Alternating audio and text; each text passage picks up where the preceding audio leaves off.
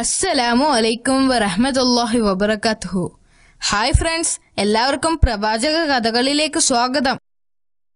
വർഷങ്ങൾ കഴിഞ്ഞു. ഇബ്രാഹിം നബിയുടെ മുടി നരച്ചു തുടങ്ങി. സാറയ്ക്കും പ്രായമായി. ഇനി തനിക്കൊരു കുഞ്ഞിന് ജന്മം നൽകാൻ സാധിക്കില്ല എന്ന് സാറയ്ക്ക് മനസ്സിലായി. അവർക്കൊരു ആശയം തോന്നി. അവർ ഇബ്രാഹിം നബിയോട് സുന്ദരിയും ചെറുപ്പവുമായ ഹാജറ റലിയല്ലാഹുവിനെ വിവാഹം കഴിപ്പിക്കുവാൻ ആവശ്യപ്പെട്ടു. ആദ്യം പ്രവാചകൻ അതിനെ എതിർത്തു. പിന്നീട് തനിക്കൊരു കുഞ്ഞുണ്ടായി കാണാൻ വേണ്ടി പ്രവാചകൻ ഹാജറ റലിയുള്ള അൻഹയിനെ വിവാഹം കഴിച്ചു. അവർക്ക് ഒരു കുഞ്ഞിനെ നൽകി അനുഗ്രഹിക്കാൻ അള്ളാഹുവിനോട് സാറ പ്രാർത്ഥിച്ചു. അള്ളാഹു അവരുടെ പ്രാർത്ഥന സ്വീകരിച്ചു. അവർക്കൊരു ആൺകുഞ്ഞിനെ നൽകുകയും ചെയ്തു. അദ്ദേഹം അവനെ ഇസ്മായിൽ എന്ന് പേരിട്ടു. അദ്ദേഹത്തിന് അവനെ വലിയ ഇഷ്ടമായിരുന്നു. പക്ഷേ സന്തോഷം അധിക കാലം നീണ്ടുനിന്നില്ല ഒരു ദിവസം അദ്ദേഹം ഉറങ്ങിക്കിടക്കുമ്പോൾ അള്ളാഹുവിന്റെ കൽപ്പനയുണ്ടായി. അദ്ദേഹത്തിന്റെ ഭാര്യയെയും മകനെയും ഒരു സ്ഥലത്ത് കൊണ്ടുപോയി ഉപേക്ഷിക്കാൻ. പ്രവാചകൻ ആശയക്കുഴപ്പത്തിലായി. കാരണം അദ്ദേഹത്തിന് തന്റെ മകനെ അത്രക്കിഷ്ടമായിരുന്നു. പക്ഷേ അദ്ദേഹത്തിന് അറിയാമായിരുന്നു അത് അള്ളാഹുവിന്റെ കൽപ്പനയാണെന്ന്. അദ്ദേഹം ഹാജറ റലിയല്ലാഹു അൻഹുവിനെ ഉറക്കത്തിൽ നിന്നും വിളിച്ചുണർത്തി പറഞ്ഞു ഇസ്മായിലിനെയും കൂട്ടി നീ തയ്യാറായി നിൽക്കുക. ഭർത്താവിനെ അനുസരിച്ചിരുന്ന അവർ മറ്റൊന്നും ചോദിക്കാൻ തയ്യാറായില്ല. പ്രവാചകൻ ഭാര്യയെയും മകനെയും കൂട്ടി മരുഭൂമിയിലൂടെ ദിവസങ്ങളോളം സഞ്ചരിച്ചു. അവർ കയ്യിൽ കരുതിയിരുന്ന ഭക്ഷണമെല്ലാം തീരാറായിരുന്നു. അവസാനം അവർ മരുഭൂമിയിലെ മർവ പർവതത്തിന്റെ താഴ്വാരയിലെത്തി. അതൊരു തരിശായ ഭൂമിയായിരുന്നു. അവിടെ ജീവജാലങ്ങളോ മരങ്ങളോ ഒന്നും ഇല്ലായിരുന്നു. അവിടെ വെച്ച് ഇബ്രാഹിം നബി തന്റെ ഭാര്യയെയും കുട്ടിയെയും ഉപേക്ഷിച്ച് തിരിഞ്ഞു നടന്നു. അവർക്ക് രണ്ട് ദിവസത്തേക്കുള്ള ഭക്ഷണം മാത്രമേ അവരുടെ കയ്യിൽ ഉണ്ടായിരുന്നുള്ളൂ. അദ്ദേഹത്തിന്റെ ഭാര്യ അദ്ദേഹത്തോട് പൊട്ടിക്കരഞ്ഞുകൊണ്ട് ചോദിച്ചു ഞങ്ങളെ ഈ മരുഭൂമിയിൽ ഒറ്റക്കാക്കി എങ്ങോട്ടാണ് പോകുന്നത്? ഇബ്രാഹിം നബി തിരിഞ്ഞു നടക്കാൻ തുടങ്ങി. അദ്ദേഹം ഒന്നും മറുപടി പറഞ്ഞില്ല. അവർ വീണ്ടും കരഞ്ഞുകൊണ്ട് അപേക്ഷിച്ചു. അപ്പോഴും ഇബ്രാഹിം നബി നിശബ്ദനായി നിന്നു. ഒടുവിൽ അവർക്ക് മനസ്സിലായി ഇതൊന്നും സ്വന്തം ഇഷ്ടപ്രകാരമല്ല അദ്ദേഹം ചെയ്യുന്നതെന്ന്.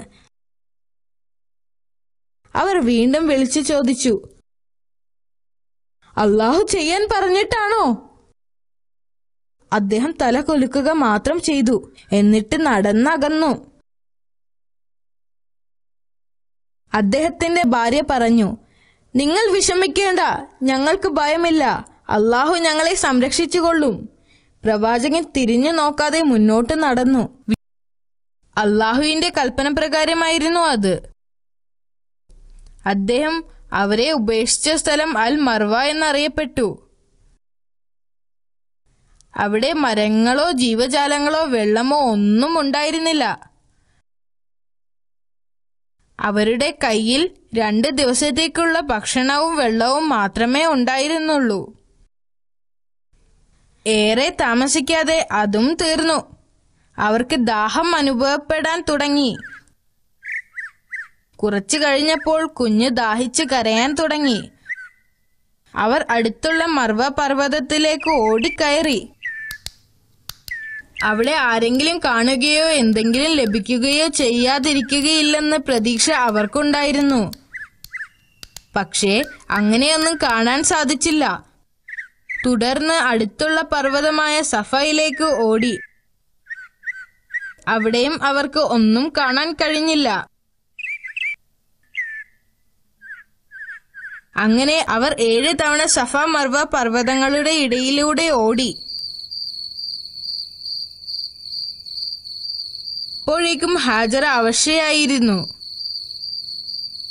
അവസാനം അവർ കുട്ടിയുടെ സമീപം വന്നിരുന്നു.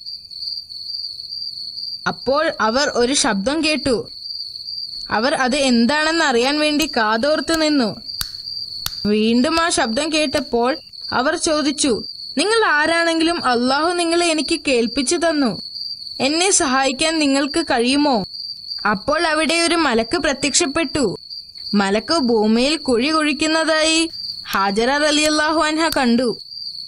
വെള്ളം കാണുന്നതുവരെ മലക്ക് കുഴിച്ചുകൊണ്ടേയിരുന്നു. എന്തൊരു അത്ഭുതം. മലക്ക് കുഴിച്ച സ്ഥലത്ത് വെള്ളം വരാൻ തുടങ്ങി. വെള്ളം കണ്ടപ്പോൾ ഹാജറ റലിയല്ലാഹു അൻഹ ഓടിച്ചെന്ന് അതിനെ തടം കെട്ടാൻ തുടങ്ങി. അവർ അതിൽ നിന്ന് വെള്ളം കുടിക്കുകയും തന്റെ പാത്രത്തിൽ ശേഖരിച്ച് തന്റെ കുഞ്ഞിന്റെ അടുത്തേക്ക് ഓടിച്ചെല്ലുകയും ചെയ്തു. ആ ഉറവ പൊട്ടിയ സ്ഥലം സംസം എന്നറിയപ്പെട്ടു. ഏതാനും ദിവസങ്ങൾക്ക് ശേഷം ചിലർ മരുഭൂമിയിലൂടെ സഞ്ചരിക്കുകയായിരുന്നു. അപ്പോൾ പക്ഷികൾ മർവ പർവതത്തിന് ചുറ്റും പറക്കുന്നതായി ശ്രദ്ധയിൽപ്പെട്ടു. പക്ഷികൾ പറക്കുന്നു എങ്കിൽ അവിടെ വെള്ളം ഉണ്ടാകാനുള്ള സാധ്യത ഉണ്ടെന്ന് അവർ മനസ്സിലാക്കി. അവർ മർവയിലേക്ക് നീങ്ങി.